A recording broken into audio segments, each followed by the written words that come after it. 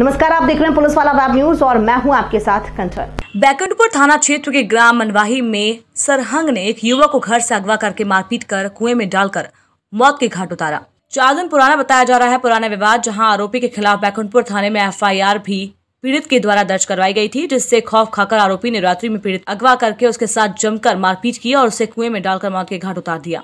मृतक के परिजन मजिया निवासी सजल सिंह नाम के आरोपी के ऊपर हत्या का आरोप लगा रहे हैं। परिजनों के द्वारा बताया गया कि चार दिन पहले पीड़ित के साथ आरोपी ने मारपीट की थी जिसकी शिकायत बैकुंठपुर थाने में दर्ज करवा दी गई थी। जिसके बाद आरोपी ने आज पीड़ित की हत्या कर दी।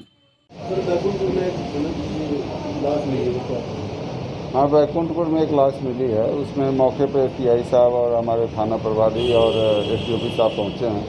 मैंने एडिशनल एस को भी भेजा हुआ है जहाँ देखें घटनास्थल में। बातचीत हुआ उसमें मृतक का का पैर बंधा हुआ है उम्र सत्तर साल की है।